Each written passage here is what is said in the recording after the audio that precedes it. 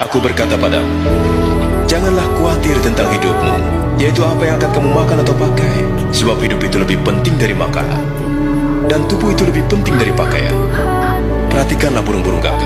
Mereka tidak menanam, tidak menuai, tidak mempunyai karya terbesar dalam hidupku pengorbananmu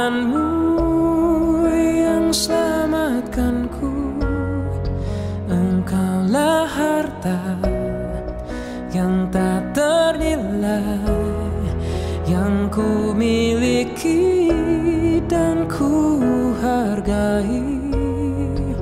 Yesus engkau ku kagumi.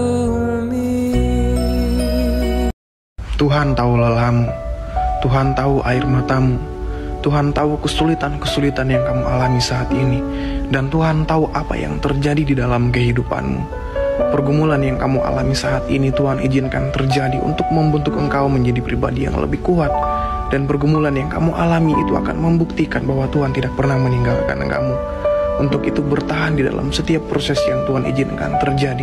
Percayalah, Tuhan akan memakai kamu menjadi kesaksian yang luar biasa bagi banyak orang.